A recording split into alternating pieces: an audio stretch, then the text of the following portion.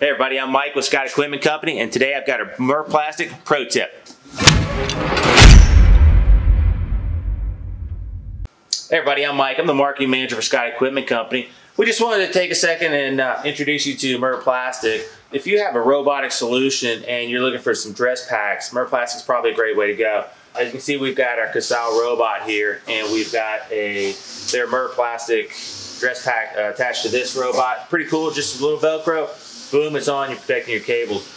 And if you have an industrial size robot, Murrplastik can help you out with that. As you can see, we got some pretty heavy duty stuff from Murrplastik.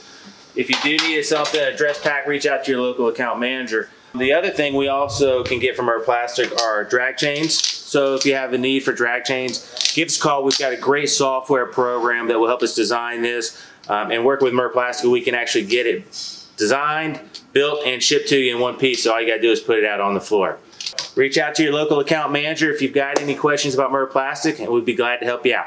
Thanks.